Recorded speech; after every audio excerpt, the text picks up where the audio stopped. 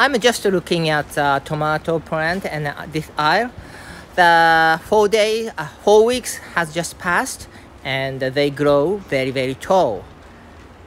Look at this. Can you tell the big difference? When I first time I planted the tomato plant, the they were this big, maybe, and now this plant is uh, maybe 10 times taller than it used to used to be and four weeks ago and if I look carefully I can see a bud right here.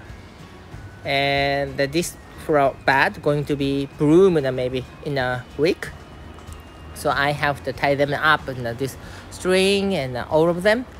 It's going to be hard work but they grow and they, they are very patient because uh, in the greenhouse it it get to the 40 degree in the daytime but uh, they grow uh, very very healthy and uh, I have to respect them. So now I'm, I have to go walk and a lot of walk so I do my best. I'm just taking the tomatoes at the moment. They have a tomato right here. Look at this this aisle and tomato grows very very tall because it is in summer. And two months ago i just seeded. Then now they have a tomato right here. So just wondered how do i water them and fertilize them? The secret is if i look this pot i grow the tomato plant on this pot. And if i look at the bottom you can see the clothes. That clothes uh, suck uh, water here. This is water. Looks like water, but it's fertilized already. I mean, this is a hydroponic method to grow a tomato actually.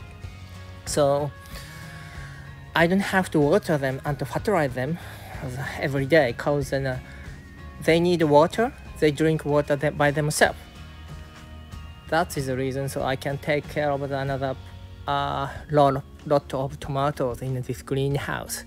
And uh, let's have a look. How do, do I make uh, fertilizer liquid water?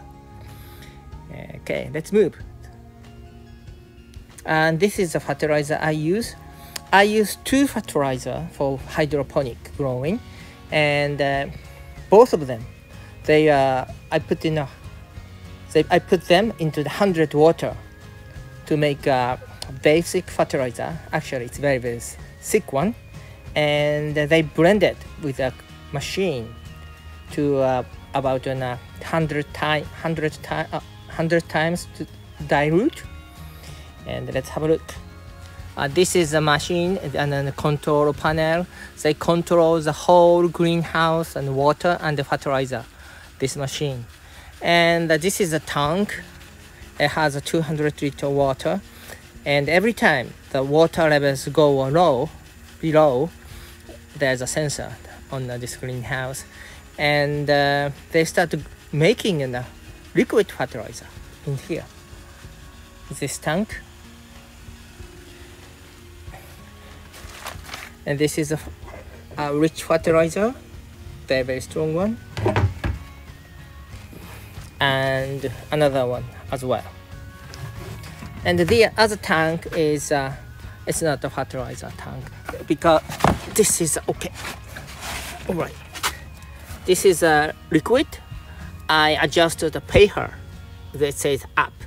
Uh, the, if I put in this pH adjustment liquid, the pH goes up. Of course, there's a, a good course goes down, but uh, this I use the app fertilizer adjustment to make sure that uh, proper pH of this water right here like that. All right and let's and let's have a look. Right here. And I just taking a video of the water pump. I use a water rainwater. And there's a pond outside the greenhouse. I keep it in the rainwater, this pond for the farming. And this is a, bombe. How can I say bombe? It's a tank for the oxygen. And uh, my secret is that uh, I'm using oxygen water, which call this with this machine. Uh, this is called nano bubble.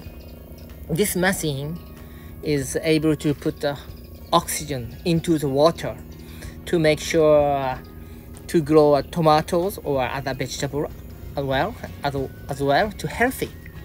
Let's have a look inside. Here you go. It's a top secret. So I, I, I don't know how to work it, but uh, they, this machine, they can put an uh, oxygen into the water to the nano level and uh, particle and the tomato drinks healthy water every day. Right here.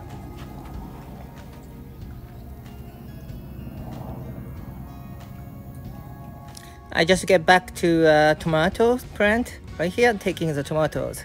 And it's summer. It's really hot in the greenhouse and uh, I use a tomato tone. With that means you know, I can pollinate you know, artificially this tomato.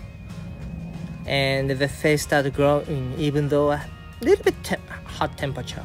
And also I can use it uh, very cold some winter season as well now I'm looking at uh, second floors, uh, flowers, tomatoes, of tomatoes. So I'm just wondering, uh, I'm going to use a bee to pollinate them because in, uh, using a tomato tone to uh, each flowers, it takes a lot of time.